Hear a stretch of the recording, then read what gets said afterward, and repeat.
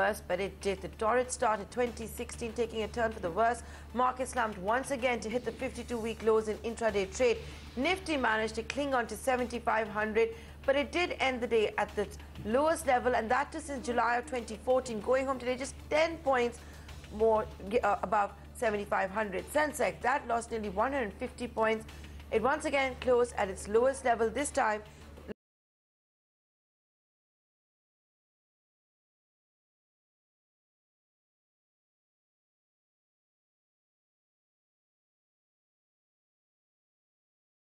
Bulls are hiding. Would you now say we're in the midst of a bear's market?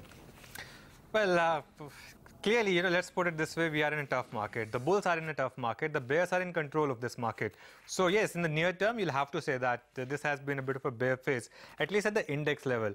Uh, and look what happened today. The Sensex, the Nifty, the Bank Nifty made new intraday 52-week lows. At least the Nifty and the Bank Nifty did. And on closing basis, we had new 52-week lows for the Nifty and also for the Bank Nifty. So uh, a market where the index, the large cap index is at 52-week low is clearly in a tough spot. Uh, uh, today, the fall was secular. Even the mid caps were not spared. And once again, it's the banks and IT stocks leading the decline. So let's talk about some of the stocks then where we saw big cuts in today's trade.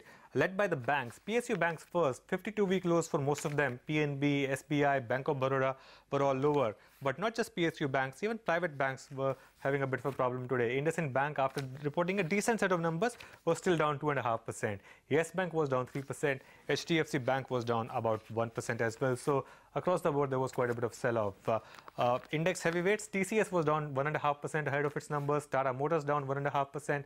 And HDFC was down close to 1%. Apart from that, uh, on the gaining side, you had some stocks like NTPC, which was up 2.5%. Wipro was up 2%, and M&M as well was up 2%.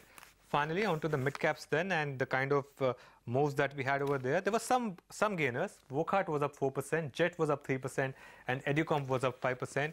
But uh, there were some losers as well. Stock of the day today perhaps was Federal Bank. Disappointing asset quality and the stock got punished, down about 8%. Castex was down 7% and Unitech is now a 6 rupee stock, down 6%.